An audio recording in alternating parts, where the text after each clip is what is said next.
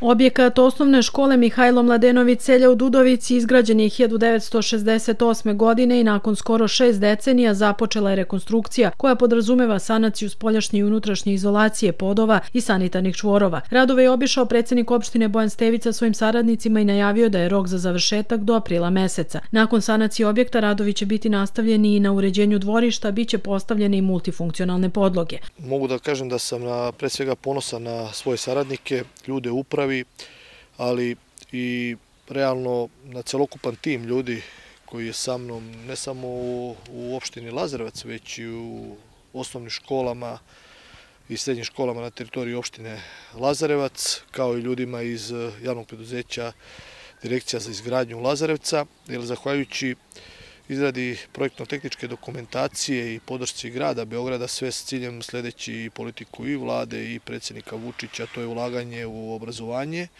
Sledeći tu politiku mi smo, zahvaljujući kvalitetnim projektima, uspeli da obezbedimo sredstva za rekonstrukciju objekata osnovnih i srednjih škola na teritoriji opštine Lazarevac. E, nalazimo se u Dudovici, ovde na Tromeđi, u obilasku osnovne škole Mihajlo Mladenović Celja, gde se trenutno izvode radovi koji su započeli 26. februara, sami ste rekli, na, da kažemo, 90% potpunoj rekonstrukciji, neću reći 100% rekonstrukciji ove matične škole, gde sa istorenim odeljenjima 246 pohađa matičnu školu i izdvojena odeljenja. Podsjetit ću vas da pet sela zajedno sa Dudovicom, znači uz Dudovicu pet sela, deca iz pet sela pohađa u matičnu školu od petog do osmog razreda kao i, i vrtić. I zahvaljujući, kažem, grad, uspeli smo, ovo je peti objekat, šesta škola koja se trenutno radi na teritoriji opštine Lazarevac. Ne bi tu posebno napominjao da smo uradili dosta po pitanju bezbednosti i da dalje radimo na unapređenju bezbednosti dece i nastavnog i nenastavnog osoblja u svim školama na teritoriji opštine Lazarevac i da će se to raditi u narednom periodu, kao i po pitanju energetske efikasnosti e, uz unapređenje nastave kroz nabavku 65 e, multifunkcionalnih tabli, uređenje dvorišta i uređenje e, terena pri osnovnim školama e, na teritoriji opštine Lazarec. Očekujemo da negde do 5. ajde aprila, zavisnosti od vremenskih uslova, celokupan objekat iza mojih leđa i za naših leđa bude u potpunosti završen i da će u potpunosti izgledati drugačije. Pored sigurno estetike pružit će i kvalitet u smislu energetske efikasnosti, pre svega nastavnom i nenastavnom osoblju, pružiti zimi tople učionice, leti prijatniji hlad, ali uradit ćemo i otvoren teren sa postavljanjem nove multifunkcionalne podloge, čime će mališani koji pohađaju u osnovnu školu Mihajlo Mladenović Celja imati iste uslove kao što imaju deca u osnovnoj školi Dule Karaklajić, Knez Lazar u centru grada Lazareca i Vojislav Oka Savić. Jer nama je cilj da naša deca koja e, pohađaju e, u seoskim sredinama osnovne škole imaju iste uslove kao deca u centru Lazarevca, ali kao i deca u centru grada Beograda. I mi ćemo u narednom periodu nastaviti ulaganje u obrazovni sistem kroz dodatni krug uređenja osnovnih škola e, i srednjih škola.